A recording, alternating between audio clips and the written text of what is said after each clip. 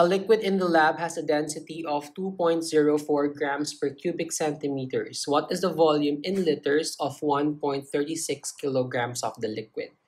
So this is a simple density problem and we know that the formula for density so D is equal to mass over volume. Now the problem is asking for the volume. It says here, what is the volume? So we need to rearrange the equation to get the volume. So what you want to do is you multiply both sides of the equation by V. So volume cancels out on the right side. So now we have M is equal to VD. Next is you divide both sides of the equation by D. So D cancels on left side. So our formula for volume is M mass over D density. Now, since we have the formula for volume, we now need to substitute the values. Okay. So in the problem, we are given here the density is 2.04 grams per cubic centimeters. On the other hand, the mass is 1.36 kilograms. So as you can see, the density is in grams per cubic centimeters and the mass is in kilograms. So we need to make the units consistent first before we can use the formula. So what you want to do is to convert 1.36 kilograms into grams. So how do we do that?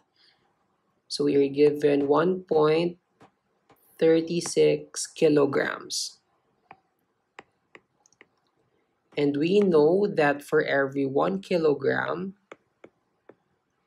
that's equivalent to a thousand grams. So basically, it's just 1.36 times 1,000 and this will give you 1360 or 1,360 grams.